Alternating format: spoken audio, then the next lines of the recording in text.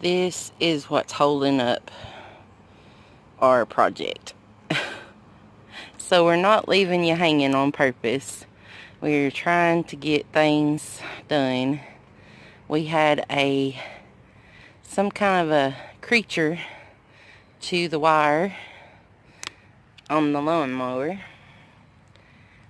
And so we're having to change a part out too. So be patient guys. We're not trying to keep it from you. Not too long anyway. Love you guys. Have a good day. Bye.